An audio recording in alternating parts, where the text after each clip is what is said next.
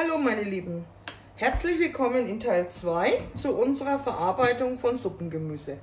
Wir wollen ja Suppengemüse haltbar machen. Jetzt werden wir es zu einer Paste verarbeiten, die wir dann einkochen und wir werden es trocknen im Dörrobstautomat. Dazu müssen wir natürlich wieder unser Gemüse vorbereiten. Es ist ja schon alles gewaschen, wie ihr von Teil 1 wisst. Und jetzt müssen wir wieder schneiden. Schneid erstmal wieder das Hütchen vom Kohlrabi ab, wie vorhin auch.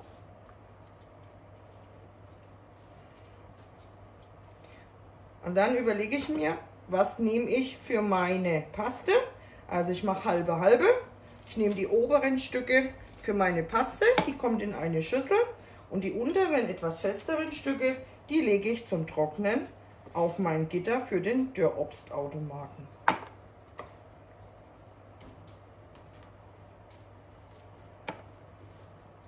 Die Schalen von unserem Kohlrabi, die trocknen wir auch mit. Die kommen auch mit auf das Blech fürs Trocknen.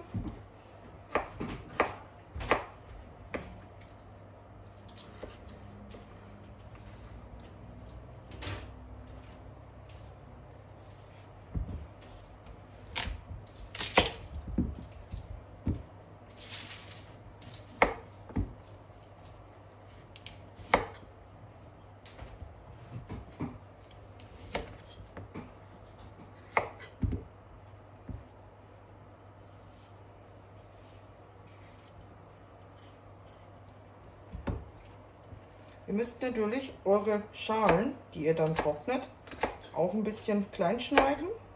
Ich mache es meistens in so Streifen, wie ihr seht,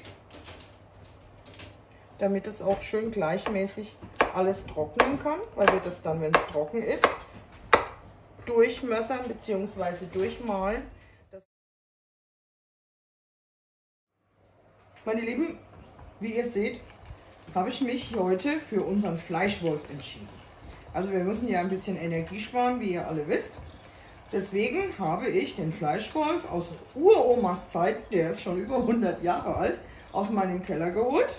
Und damit wollen wir heute unsere Gemüsepaste machen. Wenn ihr keinen Fleischwolf habt, ist auch nicht so schlimm, müsst ihr es halt mit der Küchenmaschine oder mit dem Pürierstab zusammen mörsern. Wir brauchen, wie ihr seht, alles schön fein. Das leiern wir jetzt hier durch unseren Alexanderwerk, damit wir eine schöne feine Konsistenz kriegen. Das wollen wir ja nachher einkochen. Ganz wichtig, wenn ihr das da durchleiert, bevor ihr es durchleiert, schneidet ihr euer Gemüse so ein bisschen in grobe Würfel. So in ganze Stücke da rein geht nicht. So in grobe Würfel schneiden und dann reinwerfen und durchleiern. Oder wie gesagt, mit einer Küchenmaschine fein pürieren.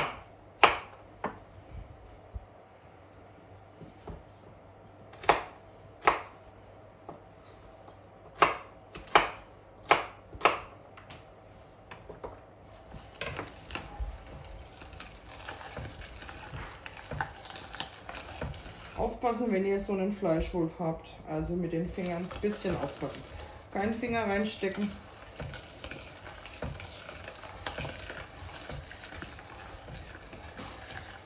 Die gibt es auch als Aufsätze für Küchenmaschinen mittlerweile. Aber bei uns gibt es da hier noch Handarbeit. So, auch die Karotten haben wir in so ein paar Stückchen geschnitten. Und die gehen jetzt auch durch unseren Fleischwolf sowie auch die Zwiebeln, der Knoblauch und die Kräuter.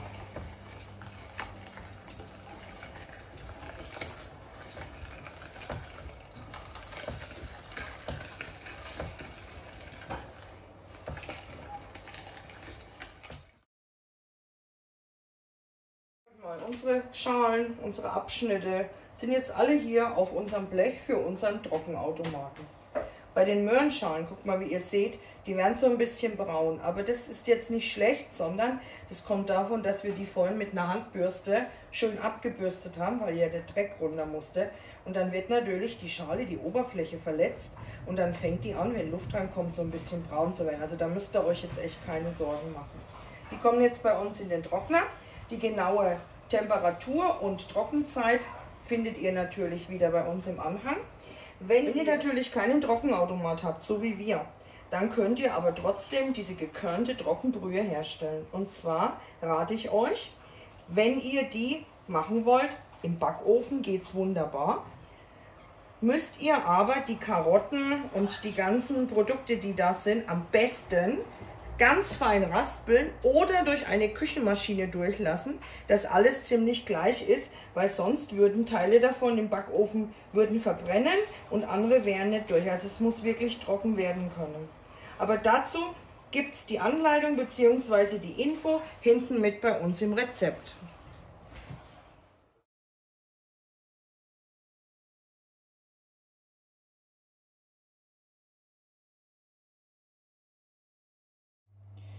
Wir haben dieses Jahr im März schon mal, wie ihr seht, steht das Datum drauf, eine Gemüsebrühe gemacht. Mit unserem Trockenautomaten. So, seht ihr das? Die ist wunderbar lecker. Da ist nichts weiter drin, außer Gemüse und ein bisschen Salz.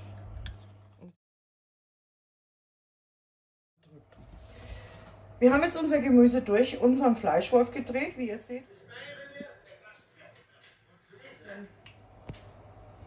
Ich nehme jetzt einfach von jedem Salz ein bisschen. Es ist ganz egal, was ihr für ein Salz nehmt. Ihr könnt normales Salz nehmen, ihr könnt Meersalz nehmen, ihr könnt Kräutersalz nehmen. Das könnt ihr euch einfach frei raussuchen. Ich mische es jetzt einfach, dass ich hier einfach das Rest vom normalen wegbekomme.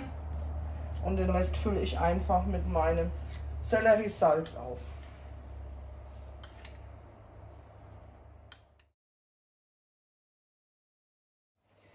Schaut mal, jetzt ist schon hier in unserer Gemüsepaste, die wir jetzt natürlich noch einkochen, einwecken werden, vom Salz, seht ihr das, hat sich schon hier Wasser gebildet. Also ihr wisst ja, Salz zieht Wasser und deswegen ist es jetzt ein bisschen flüssiger. Das macht aber nichts, genau soll das nämlich so sein.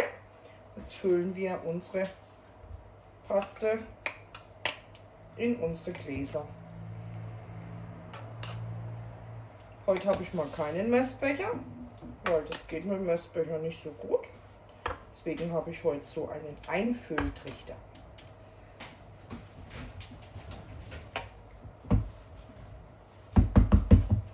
So. Jetzt füllen wir unsere Gläser erst alle voll. Dann wisst ihr ja, wichtig, Ränder schön sauber machen und dann drehen wir unseren Deckel auf.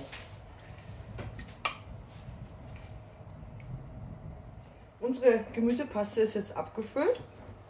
Und ihr wisst ja, wichtig, schön die Ränder sauber machen, Geschirrtücher nass machen und schön außen rumfahren, dass in der Rille, wenn wir unseren Deckel aufsetzen, nichts drinnen ist, sonst kocht unser Glas nicht zu, sondern das geht dann wieder auf. Ich habe natürlich die Gläser wie immer vorher ausgekocht, steril gemacht, auch die Deckel. Jetzt drehe ich fest zu und dann kochen wir unsere Gläser 30 Minuten zu und dann hält diese Paste locker und leicht ein ganzes Jahr. Und ihr werdet sehen, die ist total lecker fürs Würzen, für Fleischgerichte, für Eiergerichte, für Suppen, für Soßen. Also wir nehmen die wirklich für alles. Da braucht ihr keine fertige Gewürzmischung mehr kaufen. Ich wünsche euch viel Spaß beim Nachmachen und viele liebe Grüße aus Franken.